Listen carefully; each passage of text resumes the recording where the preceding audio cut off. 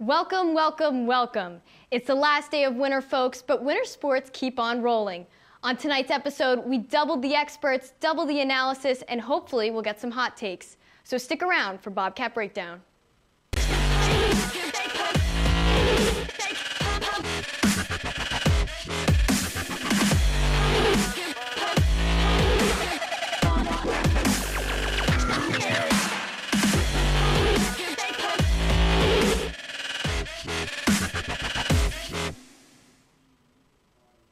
Good evening and welcome to tonight's show. I'm your host, Katie O'Keefe. And our first couple of experts come from the Harwood. Shane Dennehy and Bryan Schwartz. Welcome, guys. Without a doubt, March is an exciting time for this Quinnipiac women's basketball team. And these are some of their last couple games. How do you guys feel about that? It's sad it's over, but it's been a long season, right? Yeah, it is. You know, final run. You know, I'm a senior graduating soon, so gonna soak in these last few games, however many they have, so it's gonna be some fun. A good couple games it will be. So we have a third straight NCAA appearance with this team. Two years ago in 2017, they got a 12 seed and made it to the Sweet 16. Last year, they were a 9 seed and lost in the round of 32. And this year, it was announced last night, the Bobcats got an 11 seed. Shane, I'll toss it to you. Does this 11 seed make sense for this team?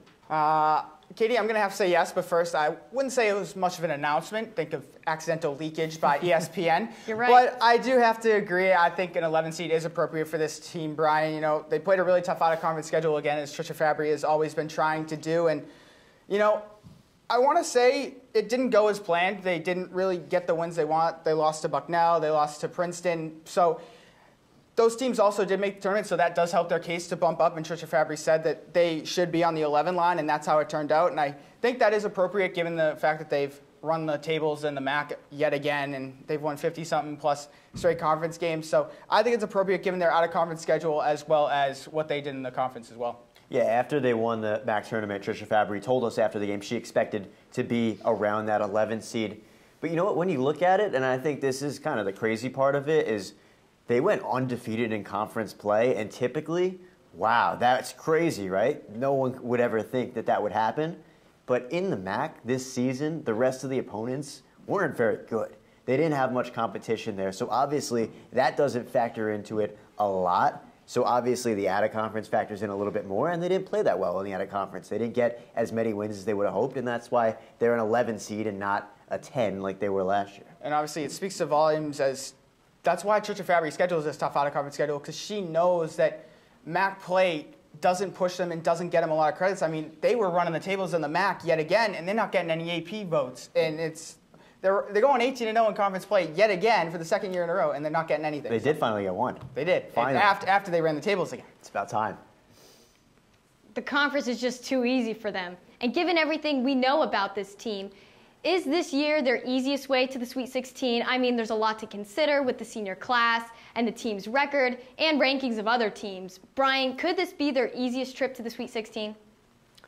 No, I don't think it's their easiest trip. I think the easiest one, uh, look, none of them are easy. I think that that's not a great way to put it, but I think the most winnable one was the first one with Marquette and Miami. I think those two teams, they matched up well against them. And, you know, this year it's going to be tough the first game is you're playing one of the top mid-major schools in the entire country in South Dakota State. They were number two on the collegeinsider.com mid-major poll. And then let's say you win that, then you probably, I mean, you're not going to face Fordham. So you're going to have to play Syracuse. And Syracuse is a really good team. They're in the ACC. They made it pretty far in the ACC tournament. So this is a team that's going to be tough to beat and a lot tougher than Miami or Marquette. Yeah, Bryan, I'm going to agree. I think that with Quinnipiac two years ago, Marquette and Miami. Easiest road. I, Carolyn Kieger, the Marquette head coach at the time, you know, she was like, we're not going to overlook Quinnipiac, but, you know, honestly, after that press conference, I was like, I don't believe her at all. I don't know who she's trying to fool, but Quinnipiac, you know, when Quinnipiac can match up against these teams height-wise, I would take them against almost any team in the country. I think they have the skill, and I think they're clicking now, so it's going to be interesting, but last year easily their hardest. I mean, yes, Miami's a good draw. You know, their highest seed ever in the nine seed, but then you get UConn. So I think this year's their second easiest. You know, they get a fellow mid-major, South Dakota State. No joke, as you said. You know, six seed as a mid-major. That's quite impressive. But probably going to get Syracuse, who did go lose in the ACC semifinals to reigning national champions Notre Dame. So I think it's going to be their second toughest route. You know, it's funny, some of these teams haven't even heard of Quinnipiac, but anything's possible in these tournaments like you two mentioned, upsets being my favorite. But let's say women's basketball loses in the first round. Shane, do you call that a disappointment? Yeah, Katie, I'm going to have to say if Quinnipiac loses in the first round, it's got to be a disappointment. I mean, I, I, know you said a lot of these people, they may not know how to pronounce Quinnipiac, but when they see Quinnipiac pop up, they're, they're nervous because they know, they've seen what this team has been able to do the past two seasons, so they don't want to play them. They, Quinnipiac has gained a lot of respect, and no, the MAAC's not good, but there's got to be something to say when you're running the table in conference play two years in a row, winning 50 something plus straight games, running the MAAC tournament like they did this past year, winning by 40 in the semis and then by 30 in the. So I think it would be a disappointment for them to go out to a fellow mid-major that they can match up with. And the way that Quinnipiac's playing right now, with the skill that they have and the experience that they've, so I think this would be a disappointment. Yeah. I think that this program expects to win in the NCAA tournament now. We've seen it the last two years, getting three wins in the last two years. Look, they're not going to make the Sweet 16 every year, but you expect to get that first win. Yes, they're the higher seed facing South Dakota State, but this is a team that you need to beat if you're Quinnipiac. You want to keep getting recognized, you want to keep moving up the ranks, being a top to mid major ranks, and ultimately trying to get into that top 25. You got to beat a team like South Dakota State, and you got to move on in the NCAA tournament. And obviously, this also comes down to recruiting as well. You got to think of this. You know, five seniors graduating this is another time to showcase what yeah. your program is about and showcase to these high level recruits that you are recruiting that we expect to compete in the NCAA tournament every single year, as you alluded to, and we're expecting to win a game every single season. And so it's, it's a big time uh, chance for them to be facing a mid major. And, and, the other part of that is this could possibly be the best team that they've had over the last few years with the five seniors starting. This, I mean, Jen Fay is playing at her best. Aryn McClure is at her best. Paula Strautmane is at her best. Thornton and Martin, you know, they're all at their best right now in their senior seasons. Obviously, they want this. They don't want to go out with a loss in the first round of the NCAA tournament right now. They expect to move further, and anything less is definitely a disappointment. Honestly, I would be surprised if they lost this first round, too. And here, this favorite question for you guys of the night, because you won't lose any betting money on this. Shane, how long can this team dance for? Uh, Katie, I'm going to say they can go back to the Sweet 16 this year. I really think they have a good shot. I mean, drawing South Dakota State, that's a perfect draw for them to, you know, get a team that's another mid-major, a team that they can match up with. And multiple players last night at, at the reveal, if you want to call it that, it wasn't really a reveal. They already knew. But knowing the players and Tricia Fabbri said that they're very similar to Marist and Quinnipiac handled that very well. Obviously, and then Aryn McClure said that South Dakota State's bigger and better version of Marist. So it is going to be a tough game. I think they can handle that. And you know what? Looking at Syracuse's roster, you know they do have one six-four center, which could be a problem. But like I said earlier, I think Quinnipiac, if they can match up height-wise with any team in the country, I think I'd take them. I really would. So I think they can swing that win and go back to the Sweet 16 again. Syracuse and Quinnipiac, I'm gonna let's assume that they both win their first round game. Syracuse and Quinnipiac had four common opponents this year: Bucknell, Princeton, Niagara, and UCF. Quinnipiac was one and three against those teams. Obviously, they beat Niagara twice. They beat them pretty handily. But those other teams, Bucknell, Princeton, UCF, that those were those were in some of the prettiest games of the year. And this is those are three teams that Syracuse beat. I, Syracuse is clearly a better team, and yes, I know we could go to the last few years. Yeah, Miami, Marquette, they were they were better teams coming in. But but Quinnipiac's not beating Syracuse. I, I, they, they, in their home floor, Syracuse, was, Syracuse, They did that to Miami. Why not? Syracuse was ten and three at the Carrier Dome. That's nice. I'm taking Q. Yeah. I, I, they they can swing it. They ha, they have the experience. I know they can. They've proven they can they can handle this going to these away courts. They've done it in Miami. They can do it against Syracuse. How would you compare Jen Fay to Adily Martucci? Because Adily Martucci was that closer a few years ago for Quinnipiac, the lockdown defender, and obviously Jen Fay is probably going to take that role this year. Lockdown defender? Aryn McClure's a lockdown defender. Okay, so even Aryn McClure, is that better or worse than what Adily Martucci did a few years ago in the postseason? No, I think this team is better than three years ago. I think Aryn McClure, I, I think she's the best defender in, in the MAAC. I think she should have gotten sure. MAAC Player of the Year. So I, and she always checks the best player. Look what she does, Rebecca Hand. It doesn't matter. She takes them out of the ball game. I have no doubt that she can go against the Syracuse player, no matter who Tricia Fabbri or the assistant coaches assign her, but I think that she can quiet the team. And Quinnipiac all this year, they have five seniors starting. They know how to play. They know how to communicate. You literally asked Tricia Fabbri about Edel Thornton and Paula Strautmane communicating on defense, and she complimented yeah. for you for picking that up. So that's why they're going to win because they communicate on defense. They know how to guard as a team. And so can Syracuse. They, they have, yeah, but and I, probably a lot better. Yeah, but they they're not going. Yes, I know they're going to overlook. The, they're not going to overlook. Mid-major. It's this, a mid-major. At this, at this point, these teams, even in the ACC, a team like Syracuse, they know who Quinnipiac is. They know what Quinnipiac can do, and they're going to come out and they're going to beat Quinnipiac if they get that far. It's going to be close. It's going to be a close game. Quinnipiac's going to edge them, though. Hmm. Exciting stuff ahead, and that's their first game this Saturday. 11th seeded Quinnipiac will go up to Syracuse, New York to play 6th seeded South Dakota State in the first round of the NCAA tournament. Game starts at 11 a.m. But let's get a commercial break, and when we come back, we'll have a new set of analysts to talk about the men's ice hockey team's quarterfinal loss in the ECAC hockey tournament. We'll be right back.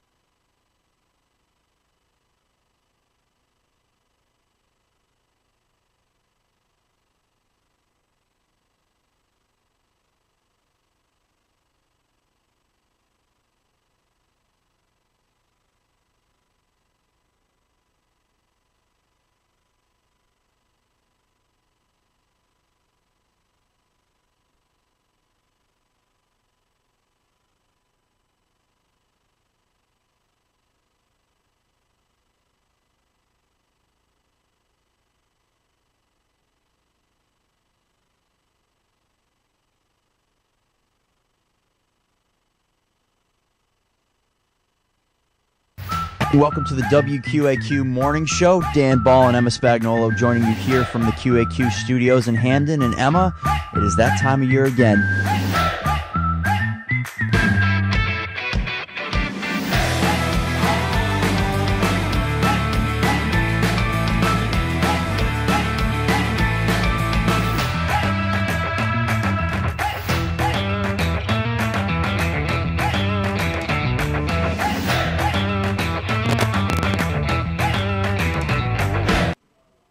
Welcome back to Bobcat Breakdown. About to talk some Quinnipiac hockey, but we had to do a little switch up.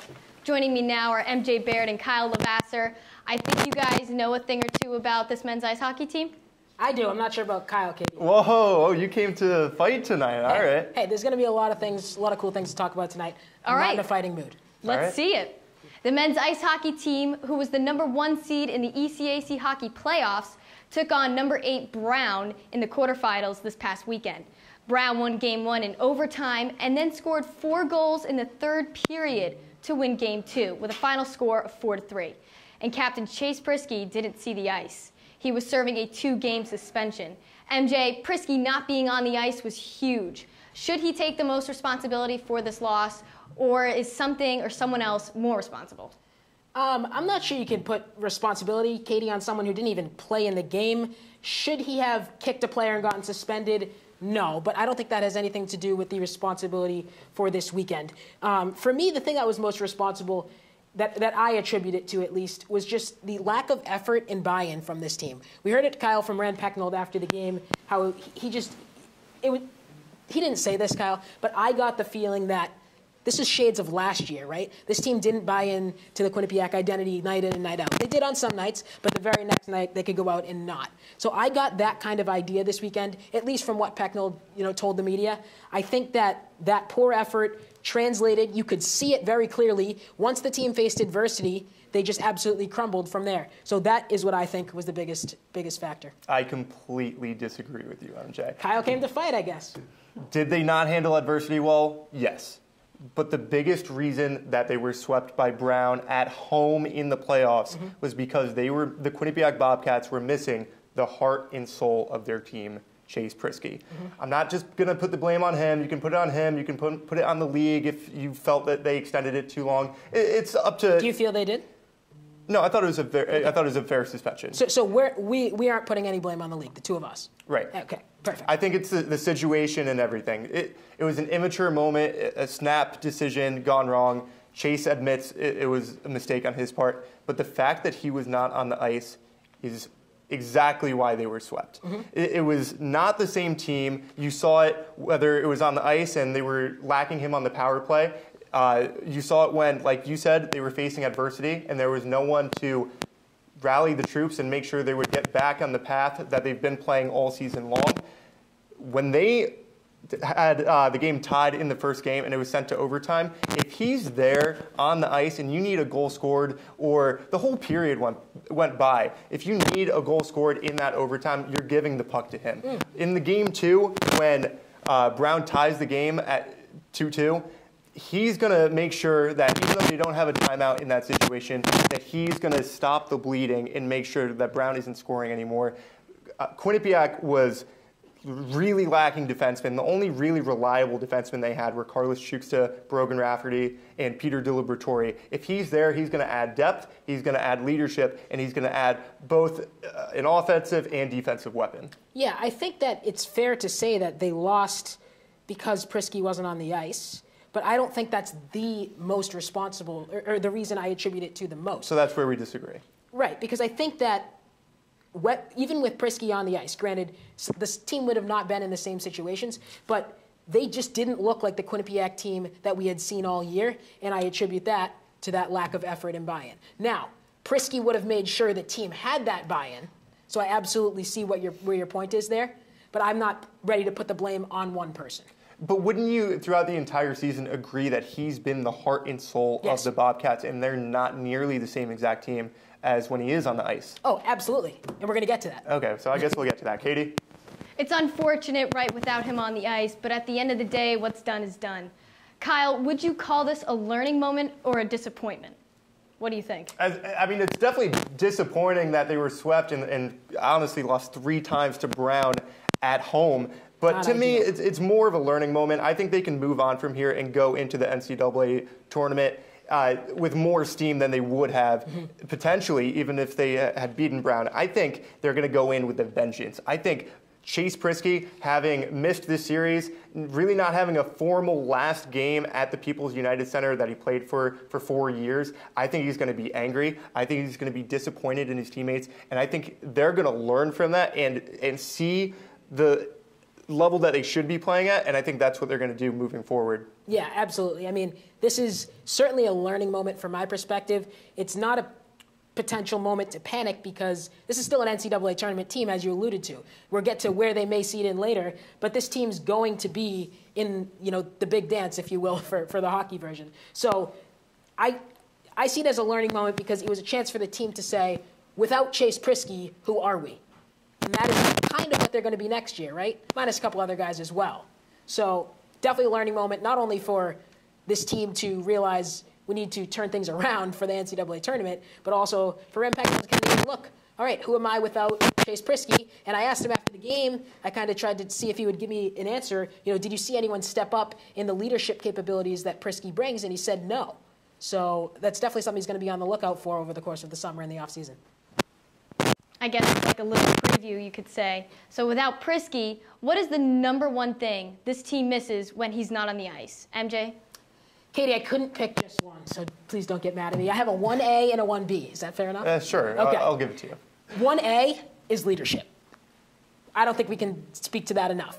The 1B, though, is skill. I mean, you're losing a Hobey Baker candidate. You're losing a guy who leads your team in goals, who leads the country in goals by a defenseman, who's top five in points by a defenseman. Doesn't get more clear than that, does it?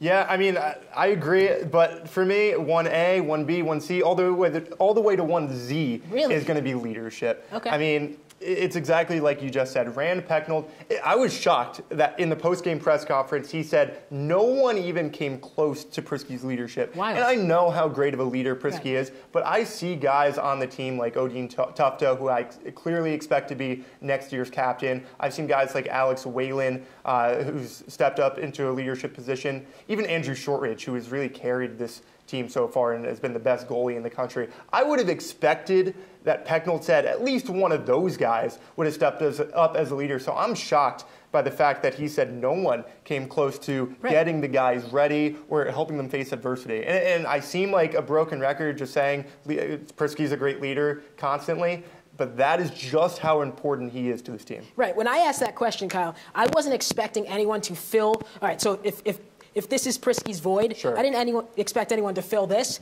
but maybe like this, like half of it. Right. And he said no one even did that. That's you don't win games like that. It's definitely not good when he's a senior, also, and you're going to be missing him next year. Right. Somebody's going to have to eventually step up and take that void. for sure.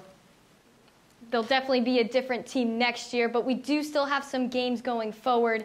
Kyle, does not winning the conference championship mean that they won't be a major contender for the national championship? Katie, they still definitely have a chance to reach the Frozen Four and potentially a national championship, as crazy as it sounds, after a, a dreadful weekend that they just had. It- it's absolutely possible. They could be a number two seed in a regional, which means they'll face a three seed, and then they would have to play their A game against the one seed in that regional. But we've seen them do that this year. I take it back to when they faced Massachusetts at home uh, in that big UMass game when they were the number one team in the country. Quinnipiac goes on to beat the Minutemen four to nothing, and it all comes down to goaltending, as we've seen when they've had great Frozen Four runs in the past. Whether it's Eric Hartzell as the best player in the country, Michael Garteig having an unbelievable playoffs, or now could be Andrew Shortridge, the best goalie in the country.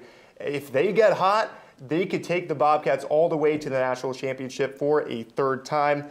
Uh, plus, like I said, Priskie's going to be coming out with a vengeance. Uh, he'll, he'll be on a mission, especially after making it to his, to the championship his freshman year. Now he's a senior. That could be just a storybook ending for him. And after coming off this suspension, he's not going to want to go out with one loss after what he just saw from the crowd. Uh, plus, I think the, the third thing that really is going to be in Quinnipiac's favor, teams that don't see Quinnipiac that often tend to struggle against them, whether it's, uh, whether it's UMass like we saw earlier this year, um, or other teams that, that we've seen throughout uh, the NCAA tournament in past years. Teams that don't see Quinnipiac tend to struggle against their style of play. Yeah, it is. It's tough to adjust to these these ECAC teams. They can game plan for it all year. Uh, non-conference teams, not so much. Katie, to answer your original question, are they still national championship contenders? Well, to be completely honest with you, I've been on the record saying this this year, and I still believe it. I don't even really think this team ever was national championship contenders. Now, look, you're going to attack me because they're they were at one point the number four team in the country this year. But Kyle, I've been saying it, and I'm going to stick to it. This is a young team. I felt that their inexperience would catch up to them at some point, and they've proved me wrong all year long so far. However, you lose Priskie, and then this inexperience comes up, and they lose they lose two Sure. games that they were leading in the third period. Now, I get it. The NCAA tournament's different. It's a one and done, which could help the Bobcats or could hurt them, right? You saw they lost the first game against Brown. They were relying on it being a three game series to try to come back. But the NCAA tournament's a different beast. As you said, we'll get to their seedings in a second. But all they need to do is win two games and they're at the Frozen Four. If you're at the Frozen Four, you're a national championship contender, right? So I do not see it as that hard to accomplish, but I don't see them getting there. I've said it all year, so I'm going to stick to it. I think nine freshmen in the lineup on any given day isn't going to win you a national title. That's the crazy thing about this team because I could see it that way where they're such a young team and they get bounced in the first round, Right. but I could also see them making it to Yeah. the Frozen Four. Highly it depends volatile. which team shows up and just how good Andrew Shortridge is in net. That's a good point. Shortridge is going to be the key. All right, guys, thanks for your time. But one more commercial break before we hear from our basketball beat reporters on the men's floor. And I tell you what's on my mind. Keep streaming.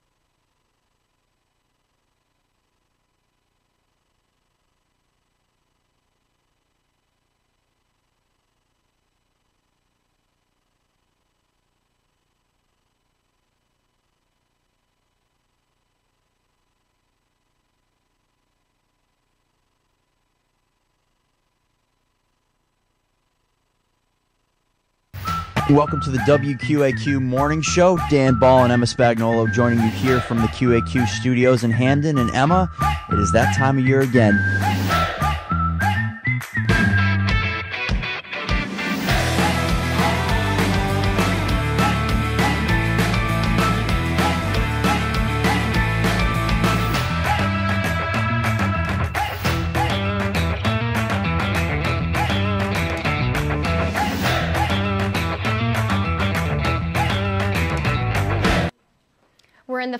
Stretch of the show, and I have a couple more things before you go. Last night, the men's basketball team competed in the CollegeInsider.com postseason tournament, the CIT. We have Bryan Schwartz and Josh Silverman to recap all the feels from last night's game. And Young's final game, Aaron Robinson's final game with Quinnipiac, Abdulai Bundu's final game with Quinnipiac. They will move on, they will graduate. But for Quinnipiac, they still have a young core in place with Rich Kelly, Jacob Rigoni, Tyrese Williams, Kevin Marfo leading the force, and it's a bright future for the Bobcats. The future is very bright for this team. I mean, there are even players you didn't mention, Ty Pickron and Jacob Rigoni, players that can that can score. Kevin Marfo is fantastic on the boards. They have great recruits coming in. This program will only get better. It's just a shame that Cam Young and the seniors that you mentioned that have played such a big part in building up this program, especially in the last two years under the Baker under the Baker Dun, Dunleavy error won't be able to reap those rewards, but they'll be able to watch them as far as the other players do. Tough finish for the Bobcats, but even when we talked to Baker Dunleavy after the game, he was proud of this team and the way that they progressed throughout the season. They end up finishing over 500 with a 16 and 15 total record. What grade do you give the Bobcats this year? I think it's a B. I think if they were to make the maybe the MAAC finals or something like that, if they would at least one win one game in the MAAC tournament, then I think they'd get a better grade. But ultimately, the record doesn't matter if you lose in the first round of the MAAC tournament, and then you lose in, in the first round of whatever postseason tournament you play. So I don't know how you can give them anything better than a B. And the only reason they get a B is because this program took another step forward. But you got to win games in the in the postseason in order to get a high grade or or really accomplish anything that meaningful. They did not win games in the postseason, but they did reach the postseason, and they are moving forward with a very high potential for this program. I agree with that, Bryan. Should be fun to watch Quinnipiac over the next few years. For Josh Silverman on his final men's basketball rebound, Josh, it's fun, right? That's it, man. Four years. That's it. My senior day. Crazy stuff. We'll be back next year. Q30 Sports will be back next year. Of course, he's Josh Silverman. I'm Bryan Schwartz. Check out all our content at Q30TV.com and Q30 Sports. Good night from Newark. And that finishes tonight's coverage of winter sports. And now, with just two teams active in their postseason, I want to end tonight with some final thoughts. We have two very different but very successful teams making the national stage. So, how did they get there? A talented coaching staff certainly makes a great team. The values installed in our university that transfer onto our hardwooded rinks makes a great team. But the teams that shine the most have a natural team dynamic, special to them. The women's basketball team is bulk all up top. Three of their five seniors hit 1,000 career point milestones, three straight NCAA appearances, and the seniors haven't lost a conference game in two years. This class of leadership, this team, embodies what it means to juice up, as they say on Twitter. On the other hand, there's a men's ice hockey team that has a much different dynamic. The switching of players over the boards is much more often than a basketball sub, but one player stands out no matter who's on the ice. You know it, I know it. It's the Hobey Baker nominee, a defenseman with 17 goals this season, and referred to as one of the top three players in the nation by his coach. It's Chase Priskie. As you can see, the difference in a group of leaders versus one single leader comes from a natural team dynamic. One way works for one team, while it didn't work for the other. Regardless, a team's dynamic and leadership comes naturally, and some teams run with it all the way. The championship bracket for the Division 1 men's ice hockey team will be announced on March 4th, that's a Sunday, at 7 p.m. on ESPNU. Remember, you can check out all of our content at Q30TV.com and follow our Twitter for the latest updates in QU Athletics at Q30 Sports. Thanks for tuning in to tonight's show. Good night from Studio 125.